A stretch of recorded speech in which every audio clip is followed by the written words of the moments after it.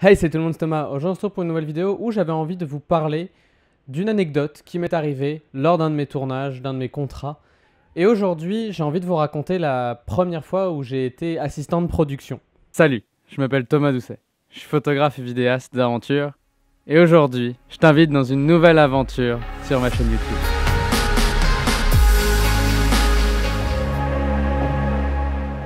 Alors, pour ceux qui ne savent pas ce que c'est qu'un assistant de production, c'est un petit peu euh, la porte d'entrée d'à peu près tous les vidéastes connus de ce monde, entre guillemets, quand vous rentrez dans des tournages avec des équipes. Donc là, je parle pas vraiment de, parle vraiment pas de solo filmmaking. Aussi, je vais tout le temps faire référence à PA pour Production Assistant. Que ce soit clair, au moins, c'est établi, il n'y a plus de problème. Ça va être bien plus simple. Donc, la job de PA, c'est quoi? C'est à mes yeux, je le vois comme ça, d'être un facilitateur pour le réal ou le directeur photo et tous les autres départements où il y aurait besoin de faciliter les choses. Que ce soit de préparer la caméra, que ce soit de préparer euh, le drone, que ce soit d'aller euh, chercher le client, d'aller ramener le client, d'aller porter quelque chose, d'aller transporter du matériel, de faire des trucs de droite à gauche, de tenir un, un réflecteur, en fait, ça peut vraiment être tout. Donc c'était le 4 août, la veille de mon anniversaire cette année. J'ai euh, été contacté par une boîte de production qui euh, m'a demandé à la base d'être directeur photo pour, le tour pour un tournage. À ce moment-là, moi j'avais un tournage le soir, donc j'ai dû annuler. Mais ce que j'ai, mon tournage, c'est comme le tournage que j'avais le soir, c'est annulé peut-être deux heures après. Donc j'ai tout de suite rappelé la personne et je lui ai expliqué que bah, mon tournage vient de s'annuler est-ce qu'il a toujours besoin d'un directeur photo ou peu importe le rôle? Je me suis permis de lui offrir cette, opportunité-là de me, maintenir disponible en fait pour lui, peu importe le rôle, peu importe la situation, pour la simple et bonne raison, c'est que je voulais euh, entrer en contact avec ces gens-là, entrer en contact avec cette boîte de prod-là, mais aussi parce que, à mes yeux, c'est important que quand tu manques à l'attente de quelqu'un, peu importe la raison, et que tu as la possibilité de réparer entre guillemets les choses de quelconque manière possible, fais-le parce que ça donnera une meilleure image de toi.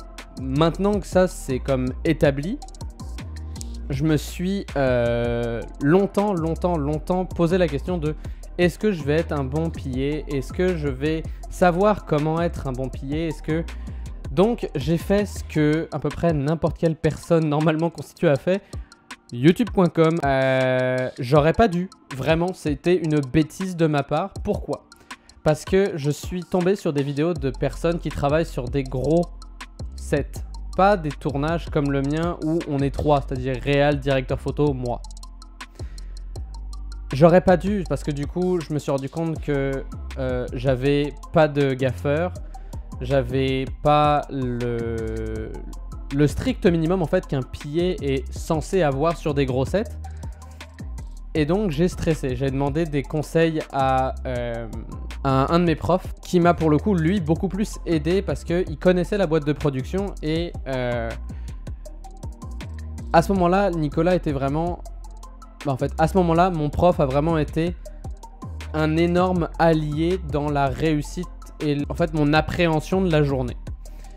Donc la journée commence 8h30, moi je suis là à 8h parce que je me dis que si eux ils arrivent en avance et que moi je suis encore plus en avance qu'eux, ça va paraître super bien, je vais commencer à sympathiser avec le client parce que le, rendez-vous se donnait chez le client. Donc euh, je suis arrivé, j'ai sympathisé avec le client, j'ai essayé de faire le social parce que selon toute vraisemblance ça allait être moi aussi qui allait devoir faire un peu de social avec le client et euh, la personne qu'on allait filmer aujourd'hui, bah, cette journée-là.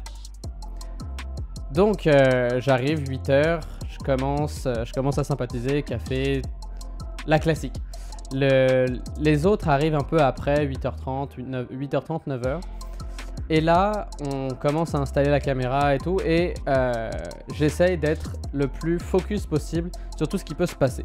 Donc euh, que ce soit d'aller courir à la voiture pour aller préparer le drone, d'amener le drone, de changer de lentille.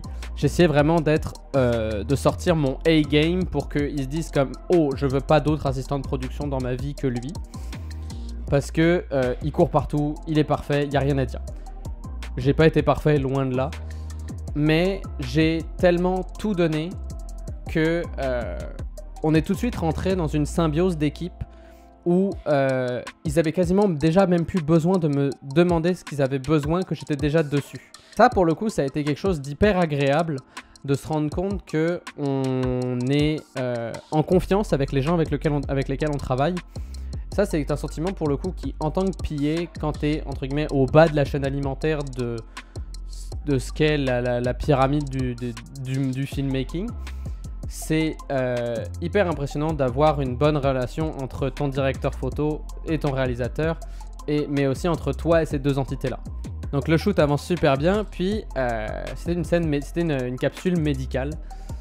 Et euh, c'est là où mon anecdote rentre en jeu. La journée, comme je l'ai dit, se passait super bien, il n'y a vraiment aucun problème. Tout avance pour le mieux, le tournage se fait, on est dans les temps. Euh, les clients sont contents de ce qu'ils voient, de ce qu'ils sont en train d'assister. Et pour le coup, c'est là où le plus drôle arrive il y a un, un, figurant qui a l'air de pas s'être présenté au tournage et du coup on manquait un euh, on manquait une personne en fait pour tourner euh, et donc en tant qu'assistant de production j'avais pas j'étais je tenais pas la caméra donc euh, pour le coup j'étais le gars le plus maigre hein. je, ne suis pas gros comme dirait Obélix mais euh, je me suis retrouvé en fait à passer en tant que modèle. Je l'ai fait sans brancher, encore une fois, parce que j'avais dans l'optique de cet assistant-là, il est parfait, il n'y a rien à dire. Genre, faut qu'il me, faut qu'il me réengage.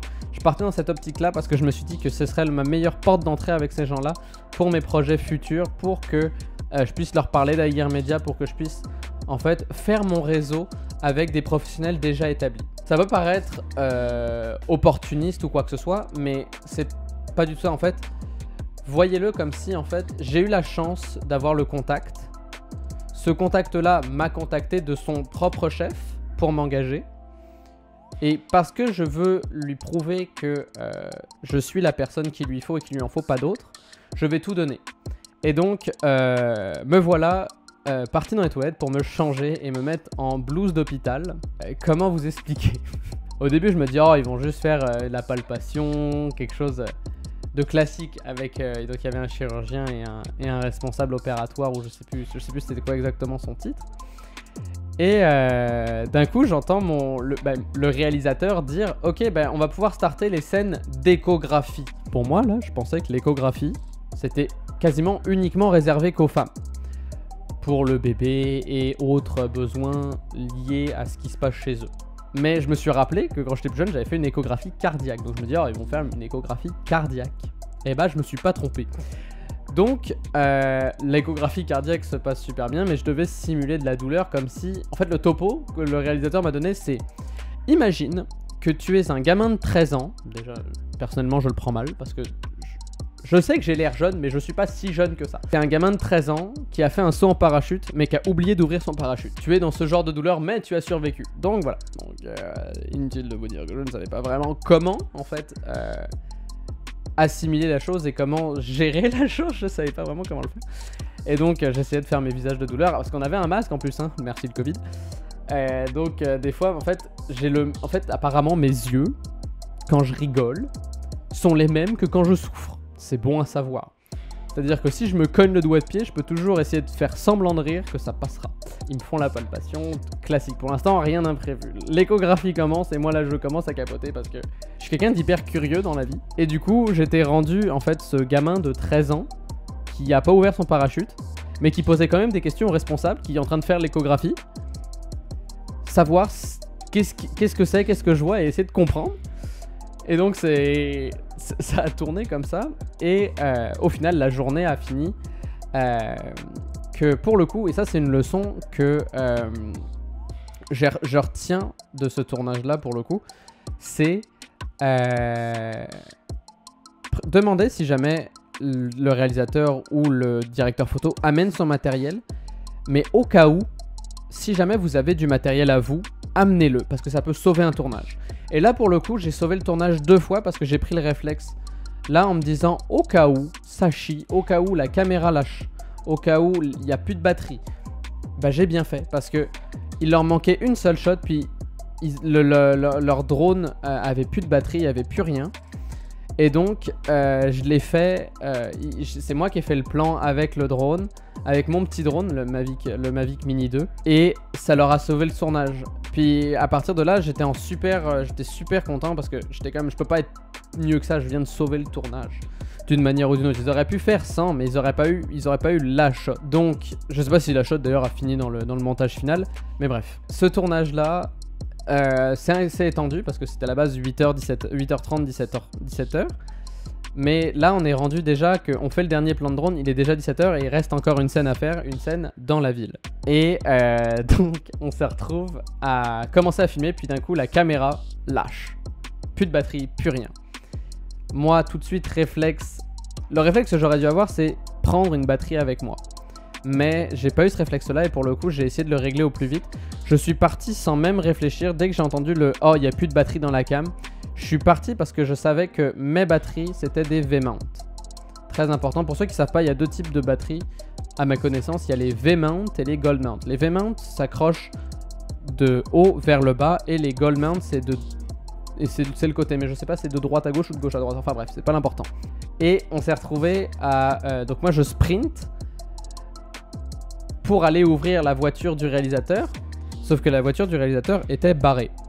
Donc impossible de récupérer une truc. Donc plutôt que de euh, d'essayer de récupérer une des dernières batteries qui était à peu près chargée, mais pas complètement, mais on sait même pas si ce sera assez pour, finir le tournage. Je suis allé prendre une de mes batteries, les Power Edge, que j'utilise avec ma Blackmagic.